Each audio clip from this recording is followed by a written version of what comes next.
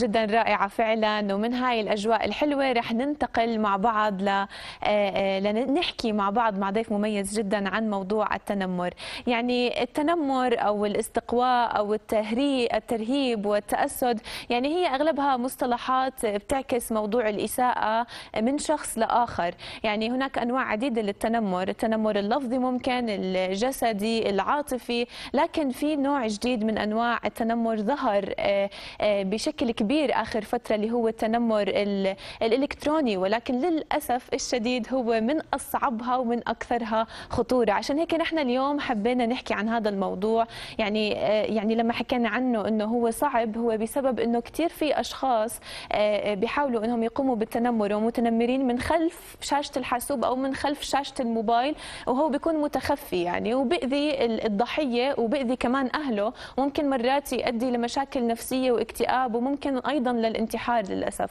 فعشان هيك اليوم معنا آه، ريادي الأعمال والابتكار غسان حلاوة وهو نشيط جدا على مواقع التواصل الاجتماعي وله بصمات جدا إيجابية. وأنا شخصيا آه، يعني آه، بس أتابعه بحس بالإيجابية بحس بالقوة بحس بال هيك التفاؤل والحيوية معنا اليوم. غسان حلاوة صاحب مشروع باراشوت 16 وصاحب أيضا برنامج طموحي live على ال social media. أهلا وسهلا فيك يعني غسان. شكرا شكرا على المقدمة الجميلة بالعكس. يعني بالعكس واحد بكبر وبفتخر بصبايا همتهم عالية زيك شهد عن جد وأنا فخور معك اليوم. أهلا وسهلا فيك باستديو يوم جديد بداية ويعني يسعد صباحك وكل عام وأنت بألف خير بمناسبه عيد الفطر آه، غسان بداية بحب أتعرف منك على موضوع طموحي live يعني كيف بدأت بهاي الفكرة؟ أول شيء كل شيء في له حكاية كل شيء في له قصة. وواحده يوم من الأيام طبيعة مشاريعنا بنشتغل في المحافظات. آه، ودائما بتقابل شباب عندهم طموح وأحلام وأهداف. لكن بتعرف أحيانا من قصنا يا فرصة يا توجيه يا بتعرفي هيك ومضه الواحد يقدر فيه يقدر فيها يتحرك. فقابلت آه، إنسان اسمه شاهد باي ذا بالمحافظات. كانت كنا بنسأل بسال الناس بطريقة هيك عشوائية إنه أنت إيش في عندك حلم؟ يعني إيش في عندك حلم؟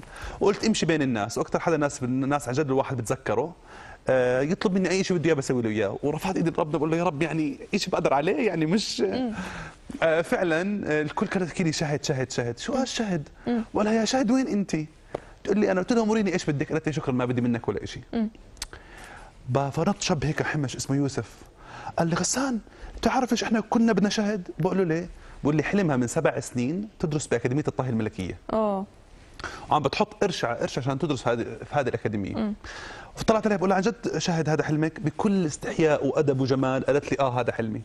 فرحت على كانت الساعة 11:30 الصبح ما بنسى التوقيت لأنه كان كثير فظيع. فكتبت بوست مرحبا يا جماعة أنا موجود اليوم في وادي موسى وفي أخت لي عندها حلم تدرس أكاديمية عن جد هذه هذه الأكاديمية.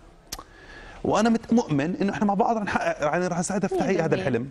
طبعا بتعرفي post طايش يعني مش بعمل يم boost ولا الساعة 3 ونص برن رقم الموبايل تبعي.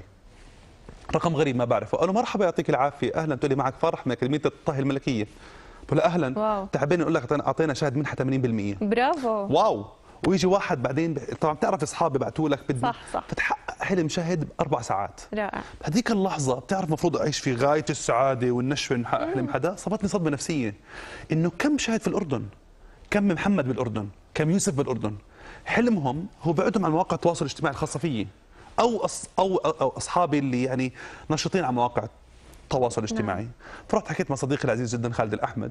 قلت له خالد اسمع. بنوجه له تحية. تحية لخالد طبعا خالد. العظيم الملهم دائما على مواقع التواصل الاجتماعي. قلت له خالد آه، صار هيك هيك هيك, هيك. وأنا حاسس ممكن نعمل شيء مواقع التواصل الاجتماعي نعمل live show أحلام الناس live حلو. قال لي تعال هلأ. تحمس جدا. قال لي تعال هلأ نسوي. فين طلعنا بنفس النهار؟ حلو.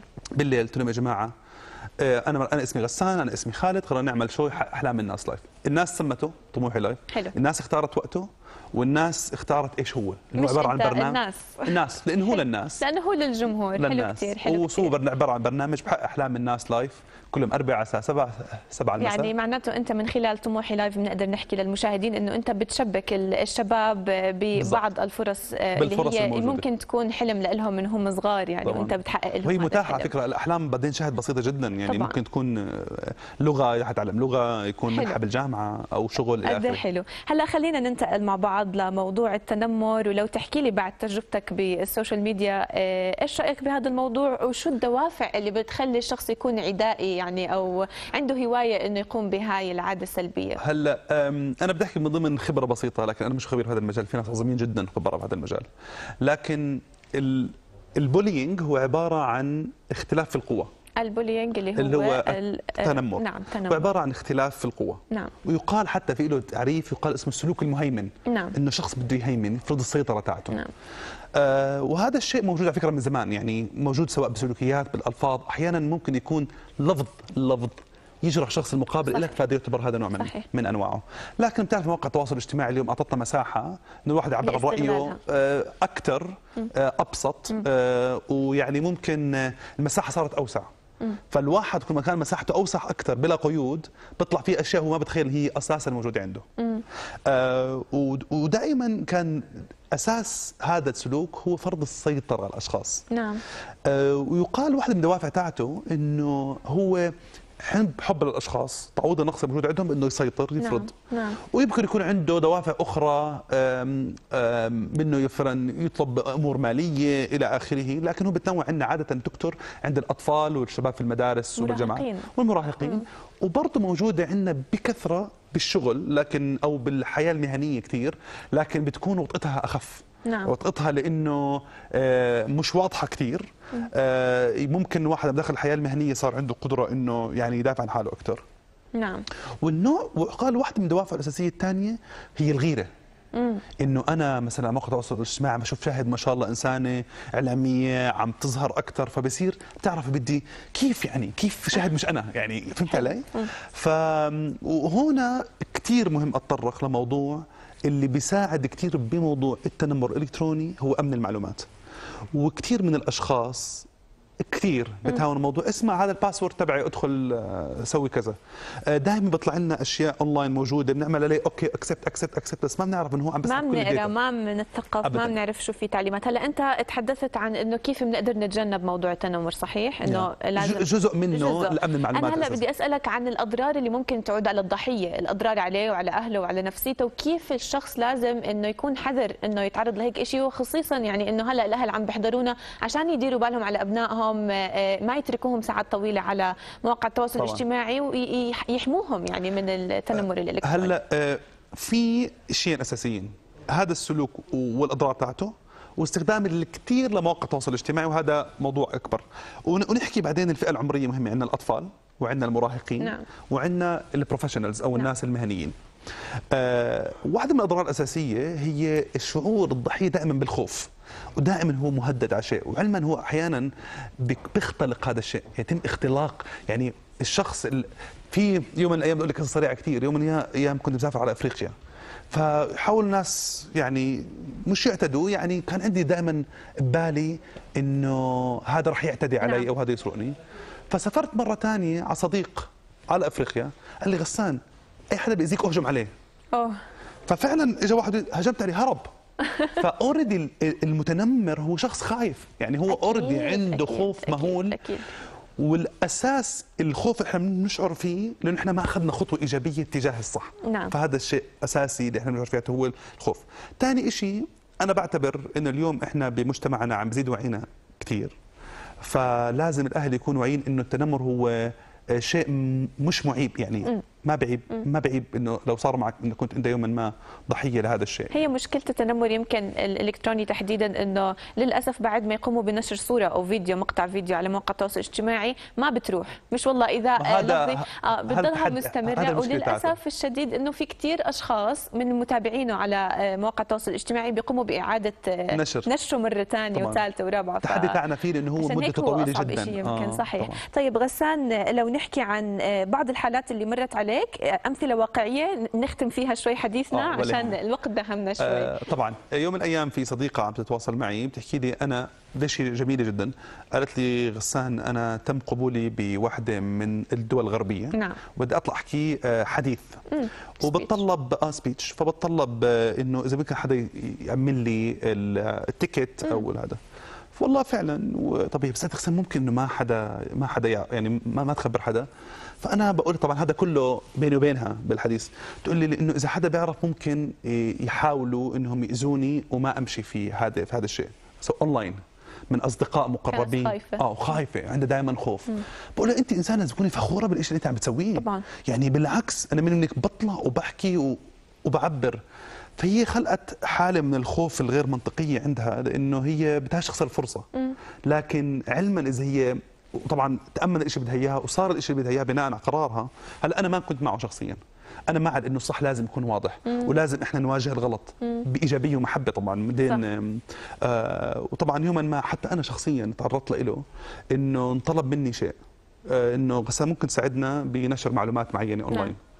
أنا اليوم فاتحة حتى موقع الخاص فيي فاتح منصة إيجابية يعني إذا بقدر أدعم الناس خير وبركة. ادعم فلان ما فلان. المهم صارت كأنه بناء على عدم نشر هذا الشيء كأنه هي حالة مرضية توفى هذا الشخص. فحكى ما بعت لي إنه بسببك أنت وبسبب هذا الكلام تبعك أنت توفت وكان بإمكان. لا حول الله. أنا بهذيك اللحظة أنا لا اخفيكي يعني شعرت. هذاك النهار إنه آه، بالإحباط.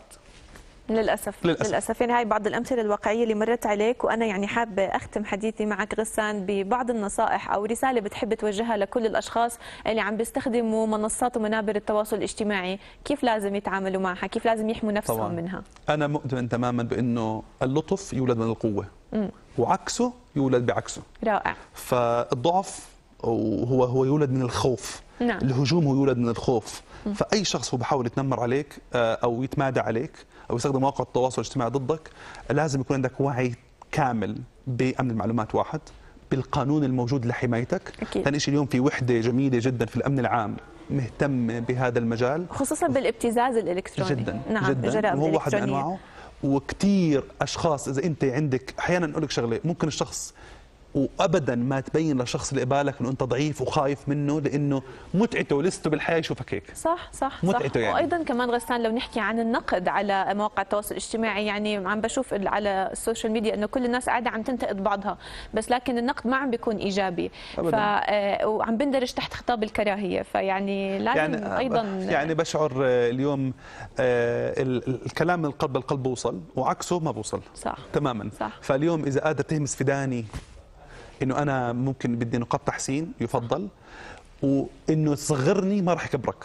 صح. يعني مهم صح. جدا تعرف. وفش... وفشلي مش معناه نجاحك يعني. 100%. إذا قدرنا نوصل لهي العقلية بتخيل ممكن صح. نمشي صح بخطى 100% شكرا لك غسان ريادي الأعمال ومؤسس مشروع باراشوت 16 وصاحب برنامج طموحي live على ال social media. شكرا لوجودك شكراً معنا لك. لليوم. يعني إن شاء الله يكونوا المشاهدين استفادوا من موضوع التنمر. الإلكتروني. والله يحمي الجميع. وديروا بالكم على أولادكم ديروا بالكم على حالكم. ودائما وعوا أطفالكم. وبالمدارس أيضا وعوا طلاب المدارس آه، بهذا الموضوع تحديدا. وهلأ مشاهدينا رح نروح مع بعض لتقرير عن آه، غروب الشمس في البتراء خلينا نحضر هالتقرير وبنرجع لكم.